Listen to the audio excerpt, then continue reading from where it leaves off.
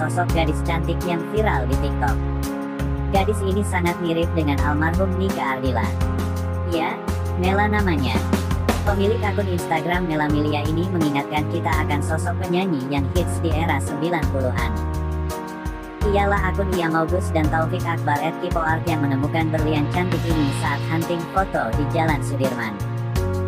Jika kita lihat memang Amel memiliki senyum dan raut muka khas Nika Ardila bahkan sobatnya Meli Guslow pun mengakui Mela mirip dengan almarhum Nika. Apalagi pose-pose Amel ekspresi wajahnya begitu mirip saat difoto. Kemiripan itu mengundang reaksi netizen yang menyebut Amel sebagai reinkarnasi Nika.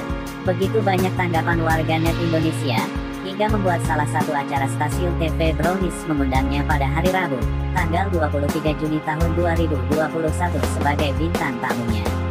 Semoga Amel semakin terkenal dan mampu mengobati kerinduan fans Nika Ardila.